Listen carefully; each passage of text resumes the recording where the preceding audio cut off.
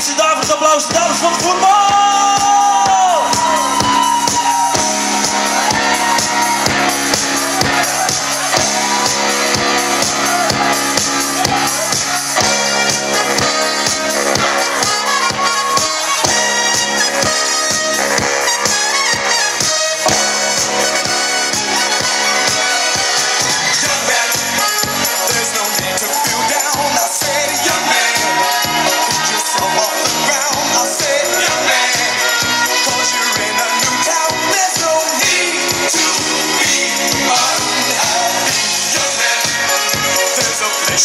yo, I said, young man, when you're short on your dough, you can't.